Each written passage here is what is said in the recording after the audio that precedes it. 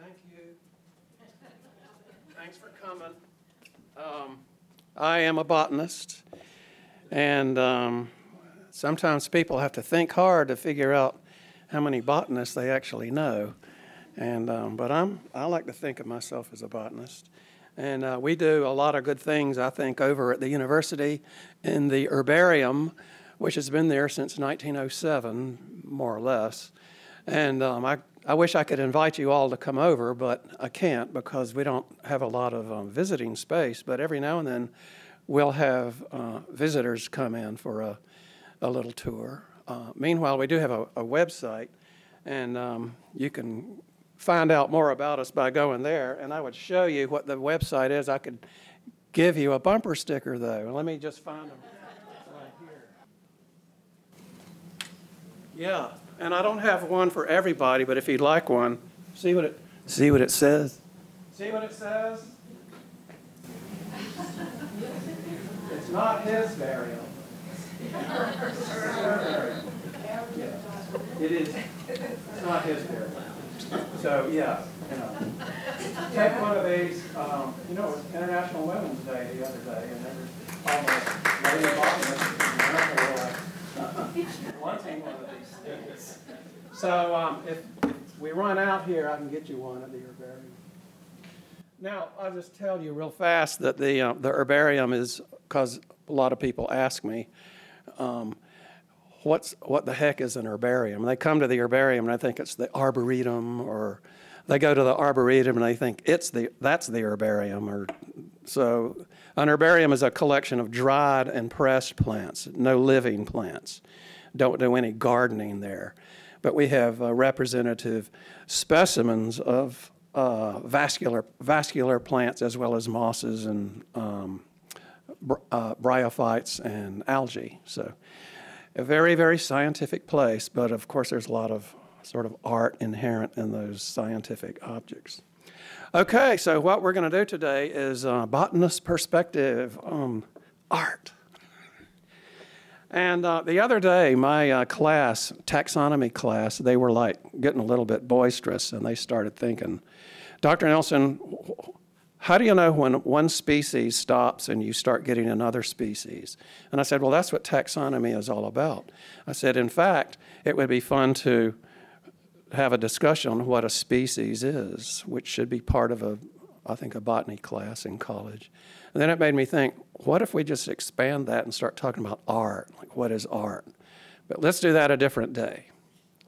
So, I want to talk a little bit about uh, Imogen uh, Cunningham, and I get my notes here. Not to worry. So, um, Imogen Cunningham, there are her dates. Uh, this is all a, a, sort of a study of the floristic aspect of her exhibit that she's got here at the museum. And uh, she was one of the, said, she's said to be one of America's quintessential woman photographers. And um, her stuff is uh, widely known. Her uh, actual artistic work spanned about 70 years of her life, and she is known as a very, very eclectic photographer, uh, lots of different kinds of subjects, and we'll talk a little bit about sort of the trends and uh, what, what she was photographing um, during her tenure as a photographer. So what she was mostly interested in, of course, uh, were people and she was primarily a portrait photographer. Um, she, at the same time, though, she liked a very offbeat, oddball, sort of unusual uh, subjects. So many of her uh, images are of oddball sorts of subjects, but um, there are a lot of uh, sort of mainline subjects as well, as, as you would expect. Um, one of the things that she uh, liked, liked to say to people was that she was one of those people that liked to see beauty in just about everything, even if it wasn't very pretty on the surface. And uh, it's maybe sort of telling that she didn't want to take too many pictures of very, very common subjects. And as far as the plant life goes, she apparently never took a single picture of a rose. So roses are common, I guess. So uh, a little bit about her background, if you haven't read it, um, involved with the exhibit. 1903, she was, um, uh, she, well, in 1883, I'm getting this wrong. 1903 to 1907, she was a student at the University of Washington, where she studied a good many things. I don't think she had a single major, um, but she was studying German as well as um, art and photography. 1909, she spent a year in Dresden at the um, Tech, uh, Das Technische Hochschule uh, studying photography. So that's where she got a lot of her her um, her background in uh, uh, photography. And then when she came back to the United States, it was to Seattle, uh, and she was like wielding her her forces at that time in Seattle. She became a sort of a, um, a not so much a protege, but she hung out with uh, a number of other artists, uh, photographers at the time, including uh, Stieglitz and uh, Edward Weston. Uh, and of course, Man Ray, she got to be very fond of his work. And um, it sort of suggested that she was uh, not only good at making pictures of standard things like portraits and landscapes, but wacky stuff as well. And um, it's easy to see that in some of her work. Um, in 1915, she uh, married a man named Roi Partridge, R O I. So the Partridge family was started. And um, they uh, moved to San Francisco, where they lived for a while. Now, the, and the Partridge family uh, eventually uh, ended up with um, Mr. and Mrs., as well as three kids, three boys. Um, the first uh, son named was named uh, Gryffyd, which is a, a, sort of an odd name. I'm going to spell it for you G R Y F F Y D. Gryffyd. And you see like kids with unusual names every now and then. But the other two uh, kids were twins, so they had three boys. And um, Roi and Imogene were very fond of doing things like packing the car up and driving up in the mountains, taking their clothes off and taking pictures of each other, and as well as other stuff, of course. So it was a they were kind of you know out there, and a lot of people referred to them as sort of bohemians, and um, that figured into their philosophy, I think, of art as well. Uh, Roi and Imogene were photographers uh, for some time. Um, let's see now. I haven't said anything about plants yet. Uh, as I said, that um, Imogene was primarily interested in um, portraits. There's a whole bunch of things we could talk about. That is the the the philosophy of portraits and uh, photographic portraits, uh, as opposed to graphic art portraits. Now, I'm not an artist, of course, so uh, it's okay if I say these crazy things up here because you all can like humor me for saying things. You know, uh, one of these things that made me think was uh, George Bernard Shaw railed and railed against um, graphic representation in portraits, that he considered the only way that you can have a portrait of somebody is with a photograph. That is, a, only a camera will work.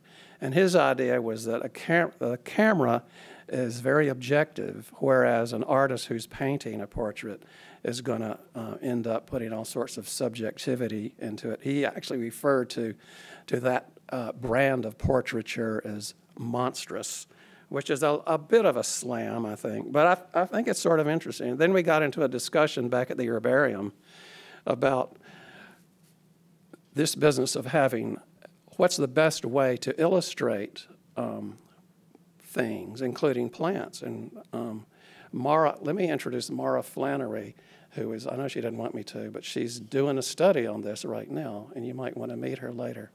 Yay. Way to go, Mara. Anyway, Mara's working on a project involving this very thing, so um, be on the lookout for Mara Flannery. Okay, I'll, I'll quit embarrassing you now. Um, uh, she was interested in making pictures of people, and a lot of her work ended up at uh, in Vanity Fair, so she was making quite a name for herself. And um, this involved a lot of portraits of celebrities. And being in California, she had some uh, connections with Hollywood, so she was doing uh, pictures of some pretty famous people. And it's uh, real interesting, I think. Joan Blondell and um, James Cagney, these, both of these portraits are about 1933. It's real interesting. I just watched, got finished watching a movie with both of them from 1933 called um, called um, it was a one, and they were the goodness gracious, they were all swimming in a pool and making designs and never mind. Footlight Parade, Footlight Parade, 1933. Anyway, uh, the other person there is um, uh, um, Maugham. I don't know how she got a hold of him, but William Somerset Maugham. Uh, we also have to remind ourselves that, um, oh, and then finally, this is one of her, her most famous uh, images that um, is featured in the exhibit of uh, Frida Kahlo. Um, other um, woman photographers were around at the time that she had a number of contemporaries, including Ruth Harriet Louise, on the left, her image of Greta Garbo, and then um, Laura Irwin was pretty famous for doing uh, stills and uh, landscapes in uh, New Mexico, Taos. Um, her later work, though, uh, later work of Cunningham's um, she'd sort of changed her, philosophy a bit, and she was moving from studying or, or recording what she called external symbolism to intrinsic symbolism. I'm not really sure what that means exactly, but she found a very good uh, source for studying intrinsic symbolism and looking at vegetation. So she got very interested in plant life. And although she confessed that she didn't know too much about plants, she got really interested in um, different kinds of plants. She also admitted that for a time there she thought that every succulent plant was a cactus. And it wasn't until later that she found out that that's not true, but that every cactus is a succulent, that kind of thing. So, so she was um, a, a, a, big um, supporter of uh, succulent plants in her work um, the, the idea of this intrinsic symbolism in hers uh, involves, I think, a number of different concepts that are really come out in plants when they're studied, uh, especially uh, birth, death, sprouting, regrowth, that kind of thing. Uh, easy to see in plants. Renewal, you know, the spring comes, plants come up. So uh, she got very, very interested in looking at plants. So that's what we're going to talk about um, now, I think. Yes. Uh, I put together sort of a, a collage of a number of the plants that are featured in the exhibit. And since I'm the botanist, we're supposed to talk about them. And um, so let's do it. The one on the, um, we'll just talk about these from upper left to lower right. So the one on the upper left is a study of of um, agave, and this is the century plant that you all see around town, the same plant.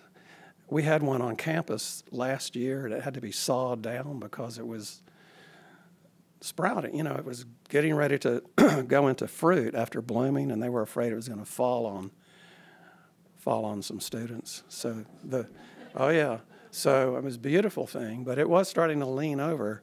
So the, um, the grounds people came over with a, a truck and uh, we found out about it. We came over with our plant presses to make specimens of it, and we got the nice gentleman to saw it down, saw that thing down with a, a chainsaw. Oh, you should have seen it. All the, all the children were like arranged around watching the sawdust flying everywhere. It was great. The sawdust, the, the crumbs of the plant sawdust. I mean, it was wet. Ended up all over him, like his arms, you know. And um, then the, the botanists were so thrilled that he had cut up little sections that we could use to press and make nice little specimens of. And he started doing this, you know, and it got, you know, he's doing this. And after a while, he says, something's wrong. And he had to go home and get all cleaned off. And it was terrible. I felt a little bit bad about making him do that. But otherwise, they would have just hauled it away and thrown it in a, thrown it in the river or something. Just kidding.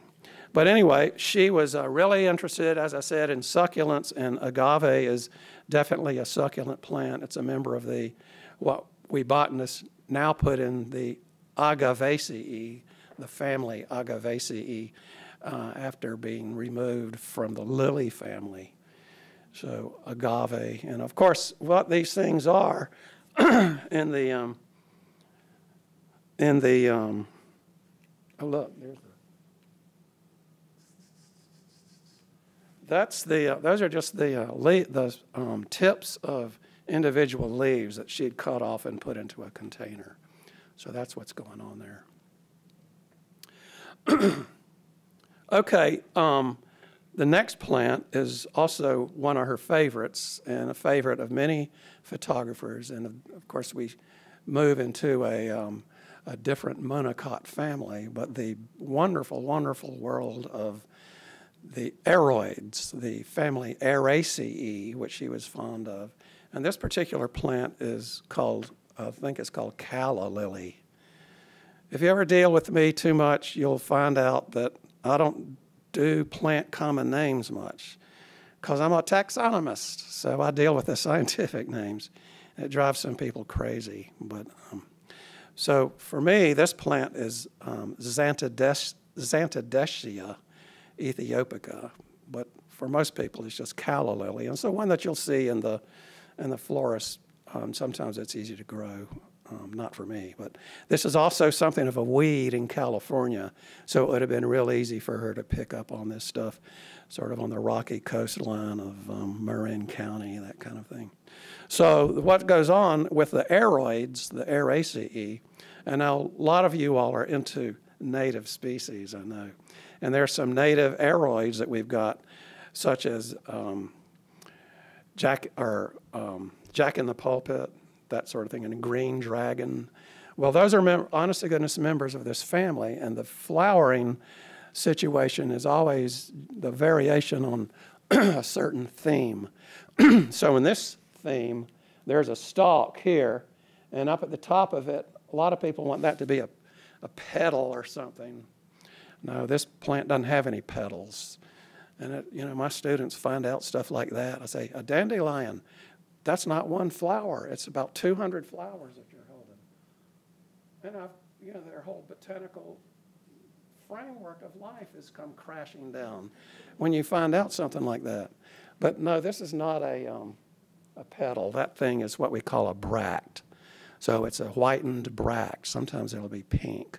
You'll see this also if you get um, or caladium kind of things, or um, they, they grow in the shade on people's patios, and they, they'll have one of these things. Or even a, a philodendron, when you see the elephant ear, same thing. So that the bract is called a spathe, and the flowers are actually really tiny and not showy at all, and they'll be um, embedded on a, a thick, fleshy spike that's on the inside of that spathe. Now, Cunningham didn't, you know, I don't think she was paying any attention to that. She was just looking at the form and the, I don't know, the intrinsic symbolism of, of, of that. Um, so, uh, Calla lily, Zantedeschia. Okay. The next image uh, was entitled Chris. I'm not really sure who Chris was, but here she was playing around with um, superposing an image of a what appears to be a cleared leaf that is cleared so that we're looking at the veins. Maybe it's just a negative. I don't know. How, I don't have any idea how she did this, but she put him in the background, and it looks pretty spooky to me. And um, I'm not really sure what this um, leaf is as far as we're going to get nitpicking on what each one of these plants is. I think it's probably a species of poplar because she does use this technique in a number of other images. So maybe she had one left over. I think it's sort of funny or interesting or something, or intrinsically symbolic that, um, uh-oh, oh, that she, she didn't mind putting that bug hole in the leaf, that she didn't want to use a perfect leaf, which to me is sort of goes along with her, her, her concept of using the wacky stuff. It doesn't have to be perfect. So, um, of course, poplars, we have poplars around here that are, have similar kinds of leaves, obviously, uh, starting to bloom now. And um, one of them is, one of these poplars is called cottonwood. We have two species of cottonwood that are both in the genus. Um, are, one of them, one of the other ones relative, related to it is platanus, but the, um, the cottonwoods are in the willow family. So eastern cottonwood and uh, swamp cottonwood, very, very similar trees around here. Okay, down on the, down here, the lower left, is a, um, a, a, plant that she was obviously interested in. Uh, no flowers uh, depicted here, but these are the upcoming new uh, leaves of a uh, what the mountain people call um, elber or hellebore. And so this is a plant that's in the um, lily family um, and it's extremely toxic. So there are species in California that grow wild, and this is pretty obviously where she got her um, plants. I'm not sure if she was doing this outdoors or more likely bringing them into the studio to take pictures of. So, um, yeah in the lily family. So on the bottom in the middle is a sort of a, a big view of trees. These were uh, a forest in France. And um, I'm not really sure when she was doing this work, but this is sort of a negative, I guess, of a bunch of conifers. I'm not really sure, like I said, what, which ones they are, but possibly a larch. But conifers. Wow. A similar uh, kind of conifer would be the one on the lower right, and uh, this is just a pine. Now, it's a very, um, you know, very stark, black and white, lots of contrast going on. And um, I don't know what else to say about it. I'm not really sure what kind of pine it is, but California has a number of different pines that are native and she must have like done the same thing either in I would expect in the studio for that one. Okay. Any questions about these or comments or these images? Flora. Yes, sir.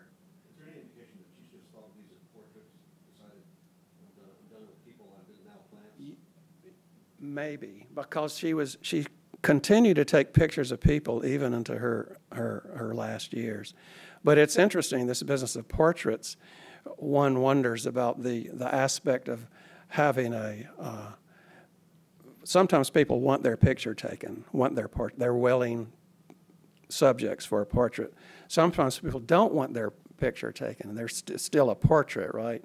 So this notion of willing versus unwilling participants. And then maybe she was starting to think that, well, the plants don't care one way or the other. They're neither willing nor unwilling, so you're very safe with plants. Maybe that's true, I guess so. All right, let's look at some more. I got the pine tree on here twice, sorry. Um, but that leads us to the next one on the right, which is um, I think it's a beautiful composition of, of foliage, and this was called uh, philodendron. And of course, um, everybody knows what philodendron means, right? It means a tree lover, right? Which is what this genus, this big genus of plants likes to do, climb up trees. So these things um, have been known in the United States and Europe for hundreds of years as cultivated plants. Um, and this particular one you see these kind of wacky looking holes in the leaves. I'm sure you've seen these things in your doctor's office or someplace where they're growing in the corner. Um, uh, like I said, a lot of different species of philodendron. Um, they're very interesting plants. They also, being aroids, have a flower characteristics that are similar to what we saw with the calla lily. Um, no flowers to see here, only the leaves. And these, this business of having the leaves slit down the middle from the edge and then having these holes, I love it. The little holes there. Those are not bug holes. Those are naturally produced, and it's a little bit complicated the way they do that while the leaf is unrolling itself and the, the cell divisions that are involved with producing that leaf allow for these slits to develop as well as the holes. And of course, botanists don't just want to call them holes. We, we call them fenestrations, of course, which is a really cool word. Fenestra, I think that means window. And then the Germans have a good word for it. Fenster, right? Never mind all that, you know. Um, the temperatures that, the cold temperatures that we get here in Columbia? If you leave this outside, it'll die Okay. right after fall. Very sensitive. Okay. So, I mean, there may be some places where you can grow them outside. No, I just, I- I'm from Florida Florida, oh my gosh, yes. they could kill a tree. Florida, yeah. Um, now, we do see elephant ears growing around here outside, and they seem to be able to handle our winters just fine. But as far as I know, these are more like houseplants, at least in the winter. I got to tell you the bad news, though. It's fun to call this a philodendron, but we taxonomists don't allow that anymore. No. The, this species and its relatives go into the genus Monstera. So keep that in mind when you go to Lowe's and you see this labeled as philodendron. It's not true. But that's like one, one thing that happens with um, once the taxonomists get loose. Okay, um, and the, the bottom on the left is a, well, it's an upside down bulb with the roots on it. So this is pretty cool, you know, a, a bulb with roots, and it speaks to the um, the spring-like erupting of life from a place you wouldn't expect it, or something, something.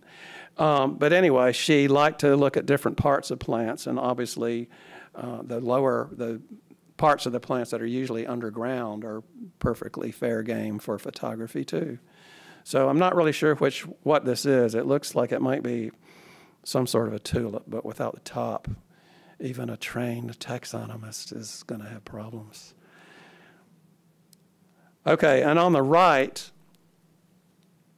we have a, another uh, succulent plant, and this is, it looks to me like very, very starry sort of constellation effect of all these little rosettes of a succulent plant that's called, you may know it as hens and chickens or hens and chicks. And this is a succulent that's in the sedum family.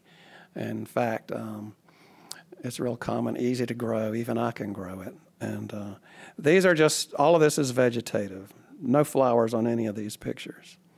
So you don't have to have flowers to make good plant pictures. Okay. Um, uh, this is my last slide, and this is maybe the most interesting.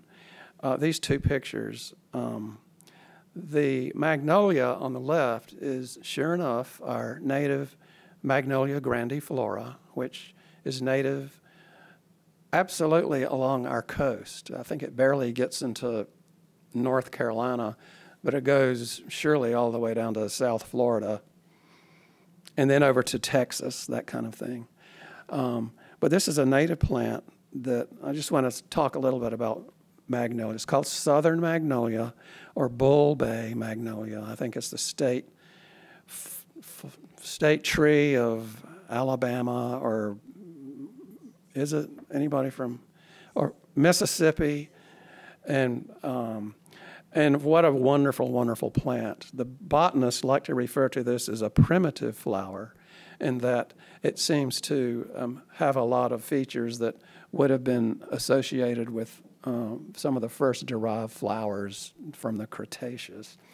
Uh, with, uh, with whorls of parts, and you see, in a, next time you look at a magnolia, you know, these, most people just want to call them petals, and I guess that's a pretty good term, but the problem is with this kind of flower, these, uh, this spiral of parts uh, is very um, slowly graduated from the bottom to the top.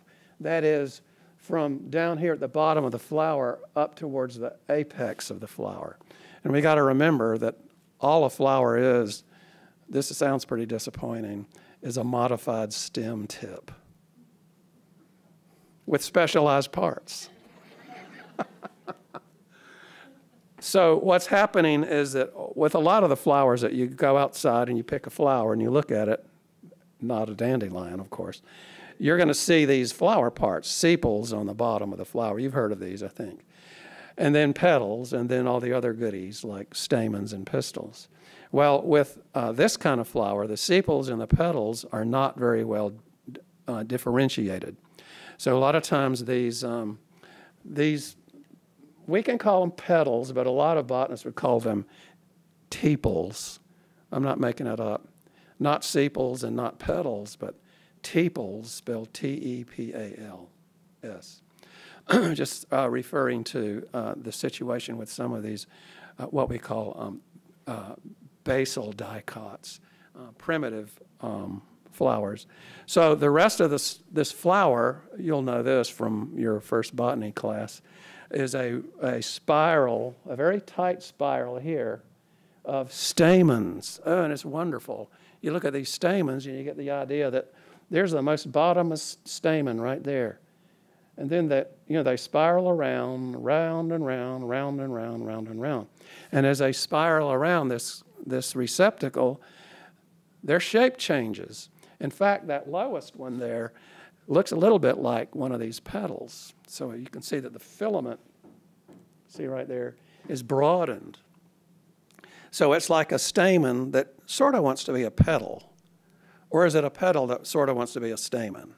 So with these primitive flowers, and especially the ones that exhibit the spiral, it's, um, this is a common occurrence. This is even better expressed in something like a water lily. If you um, check out the water lilies in the pond, and you'll see the same kind of thing going on. Um, so, uh, and of course, everything else, the uh, male part of the flower, this, the stamens, the male part of the flower, Greek word, androecium. What a great word. I asked my students, and, and they said, I said, what does androecium mean? And I said, it means man's house.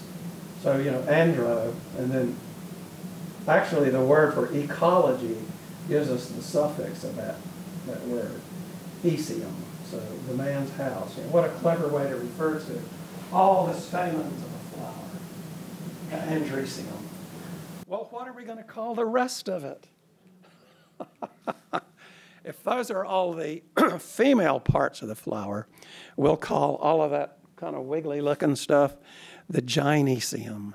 And of course, each one of those individual hook like things is a single pistil. So not only does it have a whole, whole bunch of stamens, it has a whole bunch of pistils in the same flower. Not all flowers do that, only the really primitive ones do that. So magnolia is a really good example. And I know Cunningham wasn't really thinking of this, but I'm so glad that she did this. This, this magnolia image has appeared in a number of botany textbooks, sure enough. It's one of the, I think, uh, best illustrations of blooming magnolia I've ever seen. And she got this when it had first opened. This is a, another aspect of the biology of the plant, is that the first day that the flower is opened, the, um, the pistils, they're ready to go. They're ready to receive pollen. But the stamens are not. It's like they're still in puberty or something. But the, the pistils are active female parts of the flower. So we call this, this kind of a flower, it's great, protogynous or protogynous. That is, the female, the, the flower opens up as a female. The next day, it opens up again, they close a little bit at night. The next day, the stamens are going to town, but the females aren't working. So now it's um, a male, you know, it goes from being male, it's basically a hermaphroditic flower. It goes from being a female, functionally female flower, the next day, over some time, you know, 24 hours kind of thing, to being a male flower, producing lots of pollen that the little critters are flying off to another flower and pollinating a day one flower. You see how it all works. So it gets to be kind of complicated, and um, but it's just fascinating stuff. So pro, protandry would be the alternative when the when the male when the flowers functionally staminate or male when it first opens up. And, and obviously, it, en- it ensures cross pollination, which is a good thing for a lot of plants. Okay, so the magnolia, as I said, that's one of her most well known images, I think. And then the last one uh, that I've saved for last, um, uh, again, we get to talk a little bit about the philodendron family, um, the aroids. And this plant is a, um, an honest to goodness member of that family. It's growing in my backyard. Well, not this one, but this is a plant called, sometimes it's called voodoo lily. It's got a terrible name, and it does look kind of creepy, but um, it's got this one single leaf that has this oddball sort of uh, way of dividing itself. They're not exactly leaf, leaflets, but they're divisions of a single leaf. And then when this thing gets finished uh, leafing out, the leaf only stays there for a couple of weeks before it'll just basically dissolve and like rot, fall on the ground. Then it will send up a blooming stalk. Wow. Now, the blooming stalk is where the plant actually gets its name, voodoo lily, because it's really disgusting. And it makes a, a, a one of those bracts. I know you're, you know what I'm, what I'm talking about. It makes one of those bracts, a spathe, with a spadix, so the spike is on the inside. Now, in this case, the whole thing is sort of colored um, purple and brown and with speckles and spots all over it, and it smells like a dead rat or that kind of thing. So, guess what would pollinate something like this plant? Flies. And, uh, you know, commonly in the spring when our plant comes up, just that single bloom, flies are all over it. And of course, the dogs get a little bit, you know, moderately interested in it as well. They're always interested in smelling interesting things too. So, um, but she put her hand, I think this is her own hand, and I think this um, sort of suggests, um, I'm being silly here, but I'm going to say that this, this image evokes not, uh, not only intrinsic symbolism of the plant, but extrinsic symbolism of her hand. And it was one of the last pictures that she um, put together. And I think it's uh, really meant to speak to as a sort of a plaintive. I don't know. I don't know what it means. It's it suggests death to me. What do you think?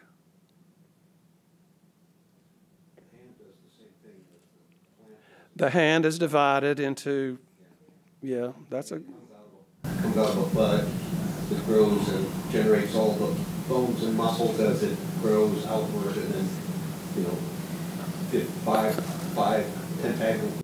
and then, and then whatever it's attached to dies and rots. So,